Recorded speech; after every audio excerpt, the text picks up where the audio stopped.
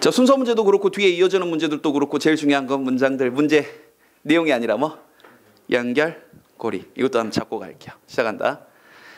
자, 여기도 봐봐 또 과학 얘기야. 과학 얘기. 이 과학 내용 이해 못하면 문제 못 푼다고요? 연결고리만 잘 잡아봐. 봐봐 어떻게 풀었나 선생님 보여줄게요. 너는 좋은 예를 볼 거야. 과학의 좋은 예를 볼 건데 어떤 활동 속에서 자 every time 이번 게 알아도 뭐뭐 할 때마다라는 접속사다. whenever의 뜻이야. whenever 써놔. 각각 때 이게 아니라 뭐 할 때마다 준범만 외워도 뭐 할 때마다 a cop police car 경찰차가 with its siren blaring 사이렌을 삐보 삐보 하면서 갈 때마다 이걸 본대요. 모두가 알고 있대. 형광펜 the 어, 네, 빠뜨렸어요. 네. the sound 그 소리가 changes as it passes you. 네가 통과할 때 소리가 변한다는 걸너 알아. 머릿속에 떠올려 봐. 경찰차 지나가. 혹은 구급차 지나가. 어떻게 지나가? 삐버 삐버. 똑같죠? 연습 많이 했어. 이해됐지? 이해됐죠? 누구나 이걸 다 안다고요. 그럼 이건 당연히 영어는 직선형이니까 이 뒤에서 무슨 얘기를 해야 돼? 뭐에 대한 부연 설명이 나와야 돼. 그렇지. 시간 이게 소리가 샥 지나가면서 달라진다라는 얘기가 뒤에 이어져 나와야 되겠지. 맞니? 그런데 A번 봤더니 뭔가 비슷한 일이 벌어진대. 형광펜. 빛의 파장에 대해서 비슷한 일이 벌어진대. 네가 아무리 영어를 못해도 과학을 못해도 얘들아 앞에 주어진 문장은 소리 얘기를 했고 여기서는 빛의 얘기를 했다. 더군다나 마찬가지로 비슷한 일이 벌어진대.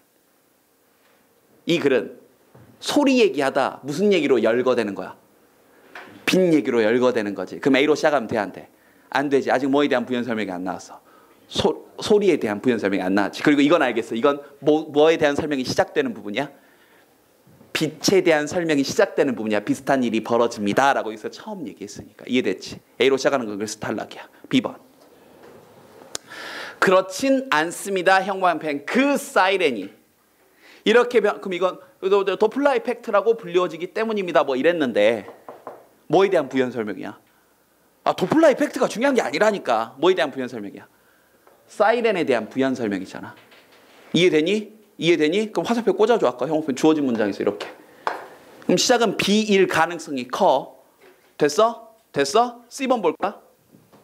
결과적으로 이 영향은 형광펜 red and blue shift라고 알려져 있대. 네가 생각해봐. red and blue는 소리에 대한 얘기야? 빛에 대한 얘기야? 빛에 대한 얘기지. 그럼 이러고 시작할 수 있어? 없어? 없어. 그럼 시작은 확실해졌다. 시작은 뭐야? B지. 근데 A가 먼저일까? C가 먼저일까? A가 먼저일 수밖에 없죠. 왜? 어, 여기서 결과적으로 하면서 이 색에 대한 부연 설명을 여기서 하고 있잖아. 그래서 자 보자. 시작은 B고요. B번 끄트머리에서 이렇게 이렇게 이렇게 이렇게 빛에 대해서 얘기를 쫙 다 해놓고 소리에 대해서 쫙 얘기를 해놓고 A번으로 가서 뭔가 비슷한 일이 이 빛의 파장에서 벌어집니다라고 했고 여기서 끄트머리 보면 형광펜 rather bluer 더 빨개지고 더 파래진대. 이걸 C에서 다시 뭐라고 받은 거야? 결과적으로 이러한 것이 red and blue shift라고 알려져 있습니다. 이렇게 화살표. 이해됐지? 그래서 정답률은요. 네, 68%. 어렵지는 않았는데 이쯤 오면 시간이 모자라잖아. 이렇게요. 알겠지? 뭐 잘 잡으라고 과학적 내용 이해하려고 하지 말고 연결고리. 됐죠? 어, 넘어가자.